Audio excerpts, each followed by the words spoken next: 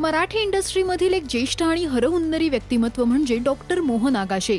Psychiatry आणि अभिनय असे दोन्ही प्रोफेशन उत्तम सांभाळणाऱ्या मोहन यांनी आजवर वेगवेगळ्या भूमिका साकारत प्रेक्षकांच्या मनावर अधिराज्य गाजवलं. आज मोहन यांचा वाढदिवस. यानिमित्त जाणून घेऊया त्यांच्या या प्रवासाविषयी.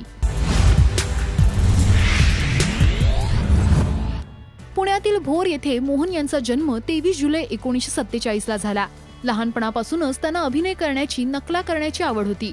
त्यामुळे त्यांनी सई परांजपेंच्या बालनाट्य संस्थेत प्रवेश घेतला. त्यांनी अनेक बालनाट्यांमध्ये काम केलं आणि त्यांना अभिनयासाठी बक्षीसही मिळाली. पुढे त्यांनी मेडिकल कॉलेजला प्रवेश घेतला. एमबीबीएस करता करता ते त्यावेळी नाट्य स्पर्धांमध्येही भाग घ्यायचे. यावेळी त्यांनी डॉक्टर जब्बार पटेल यांच्यासोबत काम करायला सुरुवात केली. याचवेळी त्यांच्याकडे घाशीराम कोतवाल हे विजय तेंडुलकरांनी लिहिलेलं नाटक आलं. तब्बल साडेतीन महिन्यांच्या तालमीनंतर हे नाटक रंगभूमीवर आलं. एकोणीसशे बहात्तर साली आलेलं हे नाटक तब्बल वीस वर्ष सुरू होतं. या नाटकात मोहन आगाशेंनी साकारलेली नाना फडणवीस ही भूमिका खूप गाजली. सतत वीस वर्ष ही भूमिका मोहन साकारत होते. याच दरम्यान त्यांनी अनेक सिनेमांमध्येही काम केलं. सामना हा त्यांचा पहिला सिनेमा. या सिनेमात त्यांनी मारुती कांबळे ही छोटीशी भूमिका साकारली.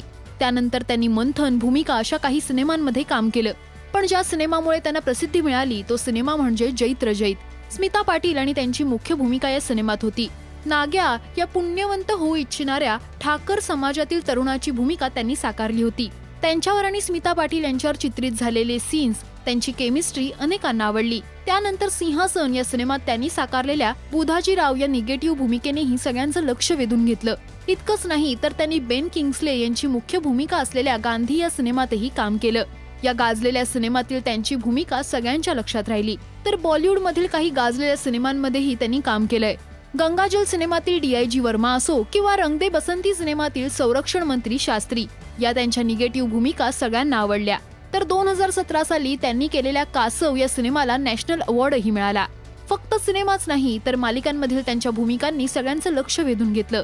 स्टार प्रवाहावरील अग्निहोत्र या मालिकेतील आप्पा अग्निहोत्री ही भूमिका किंवा एका लग्नाची तिसरी गोष्ट मालिकेतील ईशाचे मॉडर्न मोठे बाबा त्यांच्या या भूमिका आजही प्रेक्षकांच्या लक्षात आहेत. रुद्रम या झी युवावरील कमी एपिसोड्स असलेल्या मालिकेत त्यांनी साकारलेली सायक्रॅटिस्टची भूमिका सगळ्यांनाच आवडली.